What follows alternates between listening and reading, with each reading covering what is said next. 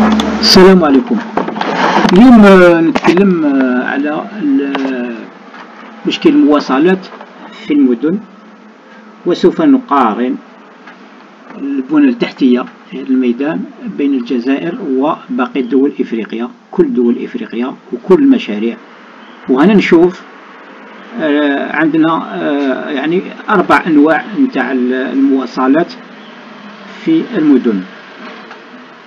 النوع الأول بالأسود وهو تيليفيريك ثم بالأزرق عندنا المترو وبالأحمر عندنا التراموي وبالأخضر عندنا قطار ضاحية suburban rail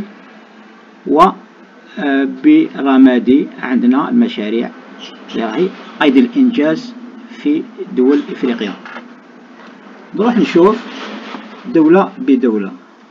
هنا آه عندما نشوف من الخريطة نلاحظ أنه أغلب الوسائل هذه متمركزة في الجزائر وهذا دليل على الناس هذا جواب للناس اللي تقول إحنا إحنا دولة إقليمية دولة إقليمية هذو الجيران إحنا نوري لهم بالدلائل إذا نروح نشوف أولا نبدأ بالمروك أو.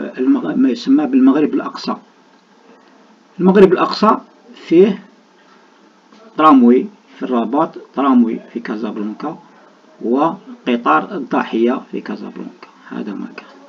شوف الجزائر فيها كل أنواع هذه الأروعة وهي الدولة الوحيدة في إفريقيا اللي عندها كل أنواع نتاع المواصلات.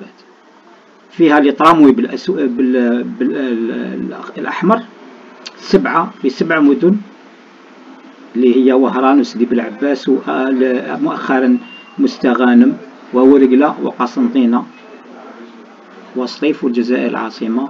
فيها 11 تيليفيريك ستة منهم في في الجزائر العاصمة. وفيها المترو. وهنا نلاحظ أنه كاين زوج مدن في إفريقيا اللي فيها المترو. هي الجزائر العاصمة والقاهرة. لا أكثر ولا أقل. كاين زوج طرامو زوج مترو واحد مترو في ألجي والمترو الآخر في القاهرة. حتى جنوب إفريقيا ليس لديها مترو. جنوب إفريقيا ليس لديها لا مترو ولا تراموي عندها غير القطارات نتاع الضاحية ثلاث قطارات نتاع الضاحية بريطوريا جوهانسبورغ ودربان وكذلك في كيب تاون. وهنا نلاحظ أنه المترو اعتذر فيه مترو في أديس أبابا. الدولة الثالثة التي دشنت المترو تاعها مؤخرا.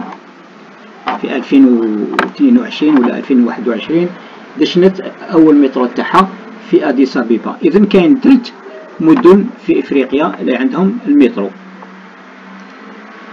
أما فيما يخص المشاريع اللي راهي قيد الإنجاز عندنا في في في آه، نيجيريا عندنا مشروع في بورت هاركورت ومشروع في ليغوس وكذلك مشروع في أبيجان في ساحل العاج.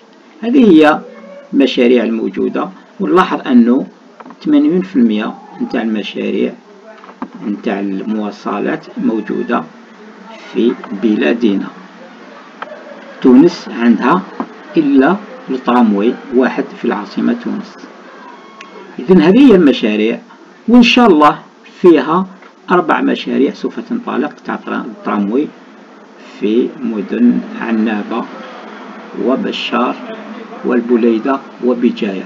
إذن فيه أربع مشاريع أخرى سوف تنطلق في الأيام القليلة القادمة. إذن هذا هو المشاريع يعني تاع المواصلات في المدن. ونشوف أن الجزائر هي رائدة آه، وب يعني فاصل كبير عن باقي دول إفريقيا.